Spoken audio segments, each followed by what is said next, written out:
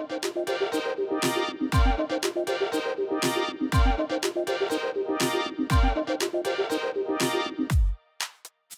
I'm Lee Teschler with EE World and Design World. I'm here with Alex Lidow from EPC, and what we have behind us is a wirelessly powered TV, not a wirelessly charged TV, but a wirelessly powered TV.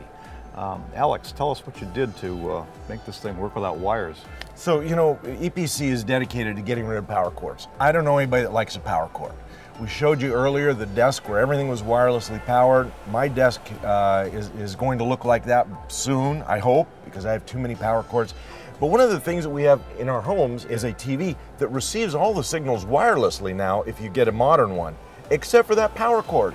Well, using that same technology, this, this TV is absolutely wirelessly powered through the wall. In order to illustrate that, we have a piece of uh, wall board, the transmitters on one side, the TV's on the other and it really adds no cost to the TV.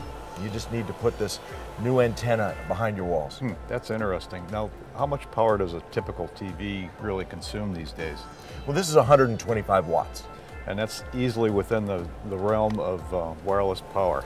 We can do any amount of power. With our new antenna system, it's just a matter of, of what amplifier you put on there and how much power uh, you want to deliver. How much power do you think a uh, typical home installation of this might be able to handle. So the desk that we showed you earlier, it was uh, 165 watts and it powered everything on a desk and you know the desk just plugs into the wall. For a home, if you have home appliances, some of those are two, 300 watts, no problem. You could have your kitchen table completely wirelessly powered for a kilowatt if you wanted to. That's interesting. Now you, you guys actually developed the uh, power circuits for this using your technology. Can you talk a little bit about that?